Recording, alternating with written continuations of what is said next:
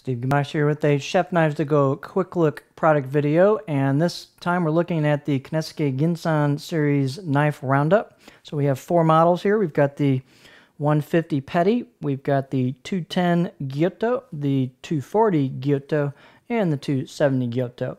These are all a bit undersized. Uh, this is this Gyuto's I think 200.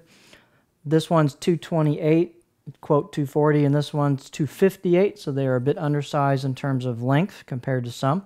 The uh, features of these knives i want to talk about they've got a superb amount of fit and finish. They've got a lot of finish work done to these but they all have beautifully curved mirrored finished polished emoto or neck end of the choil on both sides. They have really done a lot of work to the spine on these. It's going to be hard to show you this but uh, on the spine, they've done a lot of work where they've actually bring them almost to a V. So I don't know if you can see that, but all four knives I've got here do the same thing. So they, they have so much curve, it, it's not very flat on top. It actually comes into a V. If you push a lot on it, it may bug you a little bit, but it's so well rounded, it doesn't seem to bother me at all. If you push a lot on the top, you don't have a big flat spot there. Uh, but that's the that's an interesting characteristic on these is a highly uh, done uh, spine on these in terms of the shape. So it comes almost to a rounded off V at the top. The um, finish on these is, is highly polished. It's not a mirror finish, but there's a lot of polish on it.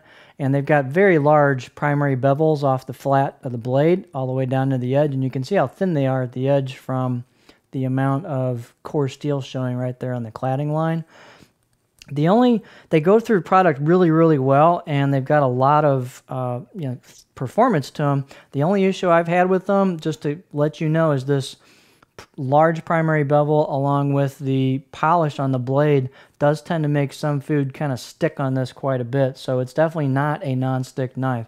It doesn't have really good uh, food reliefs uh, just so you're aware of that. So some things even like carrots kind of got suctioned onto this large primary bevel and that's the only feature about it I, I didn't particularly care for that much, but I just want you to be aware of that characteristic of these knives. So while they go through food very well, they do tend to be not very non-stick, and just so you know that going in. So that's something I wanted to illustrate about this line of knives. Fit and finish is superb. Craftsmanship is superb. They are beautifully done knives, great to look at, and they're thin. The tips go through product very well. So all around, really nice gyutos and petty. They are, as you kind of seen, the blade profiles. If you look at each one on the gyutos, all have a flat profile uh, at the heel. So if you like a flat blade edge profile, these gyutos all deliver on that. So just a beautifully crafted series of knives.